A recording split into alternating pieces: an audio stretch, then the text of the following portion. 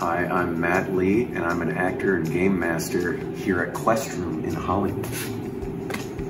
Well, it depends on the room. I get called different things. I get called Little Boy in the Attic, Jenny, um, Bernard, and sometimes, oh shit, that's the Minotaur. I get called that.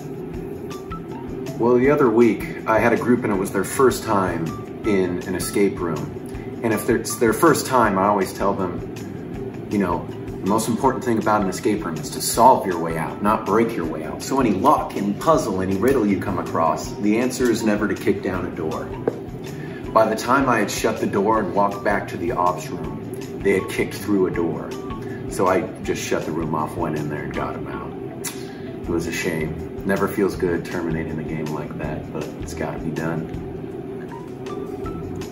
touch, tickle, and wiggle. Must have, it's gotta be cowboy boots. Because if you're just rocking a pair of Chucks in like a historical room or something like that, kind of kills the vibe.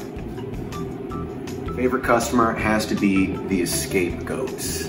Check them out. I always have them look, make sure everybody wants a hint. We can't have any straggler that's like, no, I don't want a hint. You're not gonna get a hint. But everybody's gotta make an X and call to the heavens for whoever their helper is in that room. Like, Bernard, we need your help! Or something like that. I do, I have played just the escape rooms here where I work. I lied in my interview and said I had played one and then was immediately thrown in to the hardest escape room we have. And I don't think I pulled it off and I think the manager knew but she was cool with it. Favorite part about game mastering has to be the other game masters I work with and the customers. Because unlike other customer service jobs, it's great that almost everybody that comes to you wants to have a good time. Do not get caught by the Minotaur.